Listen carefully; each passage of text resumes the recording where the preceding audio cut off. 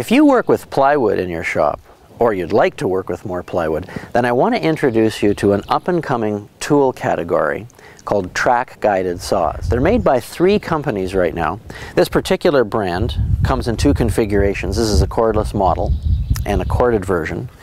All of them work in a similar way though. It's a handheld circular type saw that fits onto a track that guides the travel of that saw across the sheet goods. Now there's a couple of advantages to this approach.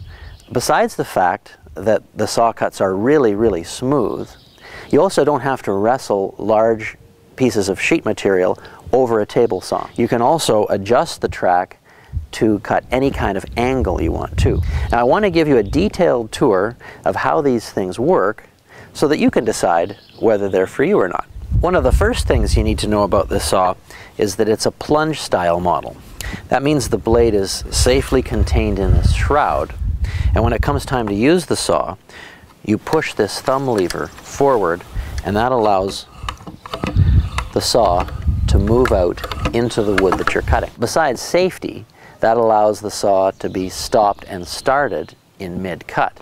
Another thing is the way the blade depth is adjustable. This control here sets a stop that allows the blade to be stopped just past where it goes through the plywood you're cutting.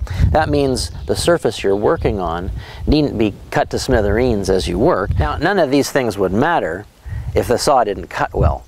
And that's the really amazing thing about track-guided saws, is just how smoothly they cut, even in chip-prone material like veneered sheet goods, or even melamine. So let's give this saw a whirl, and you can see what I mean.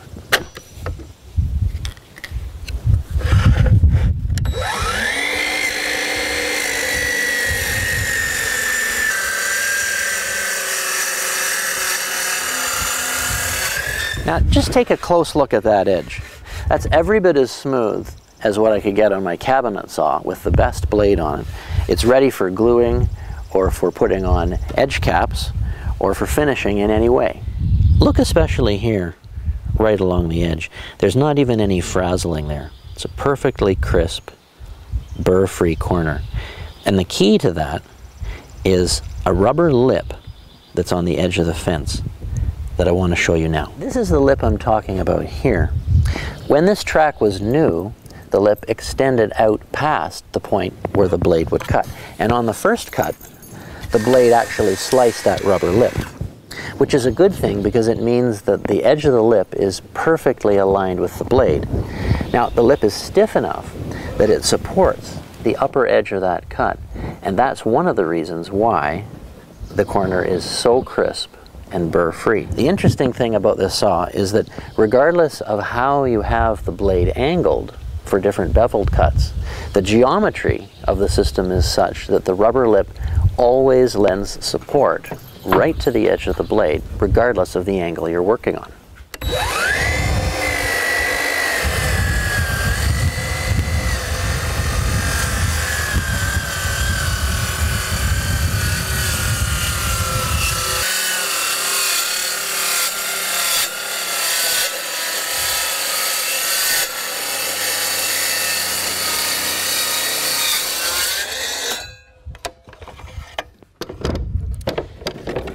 This is the bevel cut, and you can see the results are incredibly smooth and accurate, even flopped over 45 degrees from square. Although a saw like this cuts incredibly smoothly, it's not just for fine cabinet work. In fact, a rig like this is really useful even for sheathing walls and a roof. On the back, there's a, a brake that you can activate.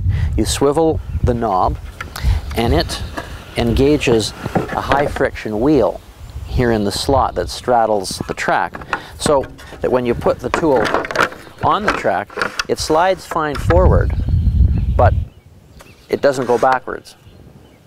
So if you're using it on a roof or any kind of a sloped surface, you don't have to worry about your saw sliding off the track and falling down.